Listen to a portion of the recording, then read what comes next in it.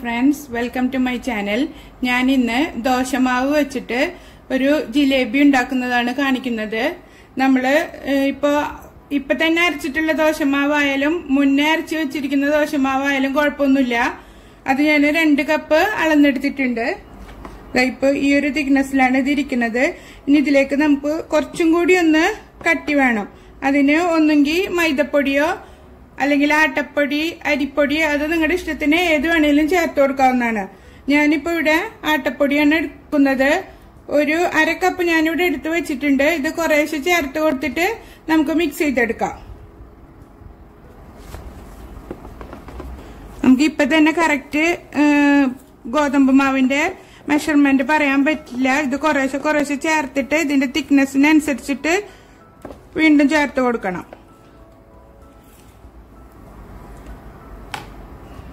കുറച്ചും കൂടെ ചേർക്കുന്നുണ്ട്. നമ്മൾ ആദ്യം ദോശ മാവ് അരയ്ക്കുമ്പോൾ തന്നെ ഉപ്പിട്ട് വെച്ചിട്ടുള്ളതുകൊണ്ട് ഇതിലിപ്പോ ഉപ്പ് ചേർത്ത് കൊടുക്കേണ്ട ആവശ്യമില്ല. ഈ ഒരു തിക്നെസ്സിലാണ് നമുക്ക് വേണ്ടത്. അര ഇതാ ഇത്രയും ബാക്കി കിട്ടിയിട്ടുണ്ട്. ഇനി ഇതിലേക്ക് കളർ പൗഡർ ചേർത്ത് കൊടുക്കുക. എന്റെ കയ്യിലിപ്പോ കേസരി പൗഡറാണ് ഉള്ളത് അതാണ് ഞാനിപ്പോ ചേർക്കുന്നത് നിങ്ങളുടെ കയ്യിൽ ഏത് ഫുഡ് കളറാണോ ഉള്ളത് permitted food colour red yellow ഏത് വേണേലും ചേർത്ത് കൊടുക്കാം. ഫുഡ് കളറ് കുറേശ്ശെ ചേർത്ത് കൊടുക്കാം.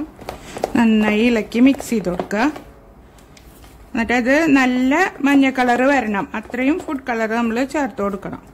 ഈ ഒരു കളറിലാണ് ഇരിക്കുന്നത്. ഒരു അല്പം കൂടെ ഞാൻ ചേർത്ത് കൊടുക്കുന്നുണ്ട്. ഇപ്പൊ നിങ്ങൾക്ക് ഫുഡ് കളർ ചേർക്കണത് ഇഷ്ടമില്ല എന്നുണ്ടെങ്കിൽ മഞ്ഞൾപ്പൊടി ചേർത്താലും മതി കേട്ടോ പിന്നെ ദോശമാവ് പലരും പല രീതിയിലെല്ലാം അരയ്ക്കുക ചിലർ ചിലപ്പോൾ ഇത്തിരി കൂടെ വെള്ളം ചേർത്തരയ്ക്കും അല്ലെങ്കിൽ നല്ല വെക്കും. അപ്പൊ അതിനനുസരിച്ചിട്ട് വേണം ഇതിലേക്ക് മൈദപ്പൊടിയോ ആട്ടപ്പൊടിയോ ഏതാ ചേർക്കണമെന്നുണ്ടെങ്കിൽ അതിന്റെ മെഷർമെന്റ് നോക്കാന്. നമ്മൾ ഇട്ട് കൊടുത്തിട്ട് തിക്നെസ്സിനനുസരിച്ച് വീണ്ടും വീണ്ടും ചേർത്ത് കൊടുത്താൽ മതി.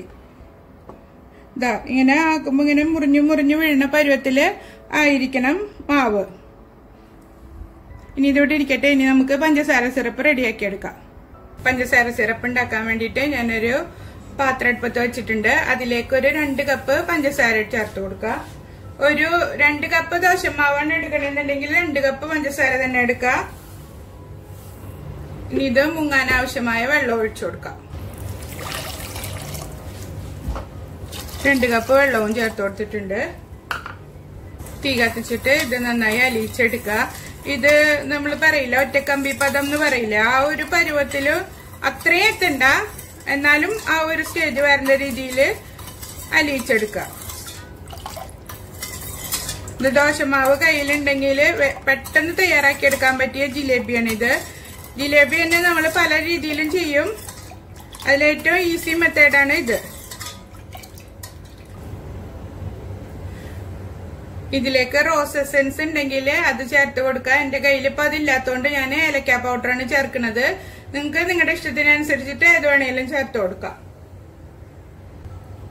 ഏലക്ക പൗഡർ ഒരു അര ടീസ്പൂണ് അല്ലെങ്കിൽ ഒരു ടീസ്പൂണ് ലെമൺ ജ്യൂസ് ഒഴിച്ചു കൊടുക്കുക.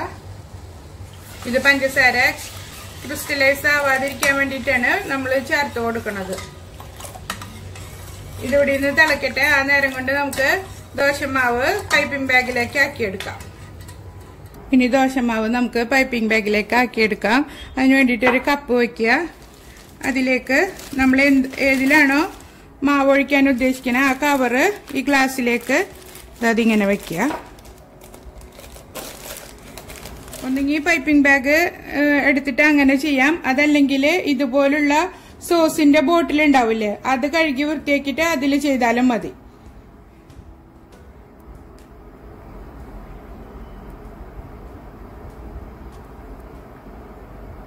ഇതിപ്പോ ആദ്യം തന്നെ ചുറ്റുമ്പോ റെഡി ആയില്ല എന്ന് വിചാരിച്ച് ടെൻഷൻ ആവൊന്നും വേണ്ട. ഒന്ന് രണ്ട് പ്രാവശ്യം ചുറ്റിക്കൊണ്ടിരിക്കുമ്പോ റെഡിയായി വരും. കുറച്ചും കൂടെ ആക്കുന്നുണ്ട്.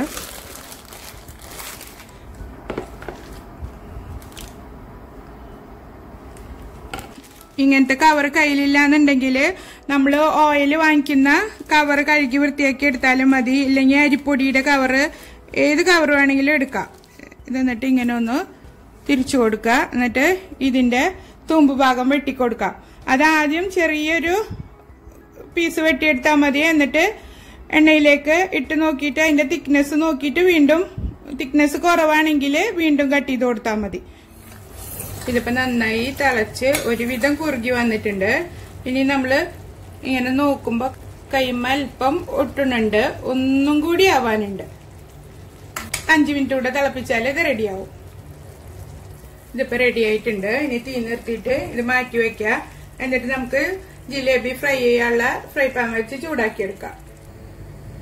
പാൻ നന്നായി ചൂടായിട്ടുണ്ട്. അതിലേക്ക് ഓയിൽ ഒഴിച്ചു കൊടുക്കുക. നിങ്ങൾക്ക് വേണമെന്നുണ്ടെങ്കിൽ നെയ്യിൽ മാത്രമായിട്ടും ചുട്ടെടുക്കാവുന്നതാണ്. ഇതിന്റെ തുമ്പൊരൽപ്പം ഞാൻ കട്ട് ചെയ്തിട്ടുണ്ട്. ഇനി നമുക്ക് പതുക്കെ ചുറ്റിച്ചു കൊടുക്കാം. നോർത്ത് ഇന്ത്യൻ സ്റ്റൈലിലുള്ള ജിലേബി ഇങ്ങനെയാണ് റൗണ്ട് ചെയ്തെടുക്കുക.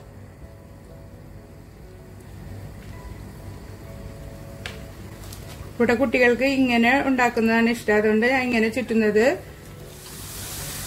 പരസ്പരം ഒട്ടിപ്പിടിക്കാതെ നീക്കിയിട്ട് കൊടുക്കണം. എന്നിട്ട് ഇത് ഫ്രൈ ആവുമ്പോൾ മറിച്ചിട്ട് കൊടുക്കുക. അങ്ങനെ രണ്ട് സൈഡും മുരിച്ചെടുക്കാം ഇത് ഫ്രൈ ആയി വന്നിട്ടുണ്ട്. ഇനി നമുക്ക് ഇത് എണ്ണയിൽ നിന്ന് കോരിയിട്ട് പഞ്ചസാര സിറപ്പിലേക്ക് ഇട്ട് കൊടുക്കാം. ഇതിന്റെ തിക്നെസ് നിങ്ങൾക്ക് തീരുമാനിക്കാവുന്നതാണ് കേട്ടോ. അതിനനുസരിച്ചിട്ട് ഹോൾ വലുതാക്കി കൊടുത്താൽ മതി. ഇതിനി പഞ്ചസാര സിറപ്പിൽ ഇട്ടിട്ട് ഒരു രണ്ട് മൂന്ന് മിനിറ്റ് നമുക്ക് ഇങ്ങനെ വെക്കാം അതിനുശേഷം ഇത് കോരി മാറ്റാം. ഇനി അടുത്തത് ഫ്രൈ ചെയ്തെടുക്കാം.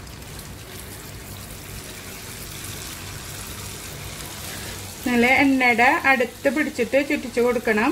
അപ്പോൾ കറക്റ്റ് ചുറ്റിച്ചെടുക്കാൻ പറ്റും. നമ്മൾ ഫസ്റ്റ് ഇട്ടിട്ടുള്ള ജിലേബി കുറച്ച് നേരം ആയിട്ടുണ്ട്. ഇനി ഇത് നമുക്ക് ഇതിൽ നിന്ന് കോരി മാറ്റിയിട്ട് അടുത്ത ട്രിപ്പിലുള്ളത് ഇട്ട് കൊടുക്കാം. ഞാനിതിലേക്ക് കോരി വെച്ചിട്ടുണ്ട്. രണ്ടാമത്തെ ട്രിപ്പിലുള്ളതും ഇതിലേക്ക് ഇട്ട് കൊടുക്കാം.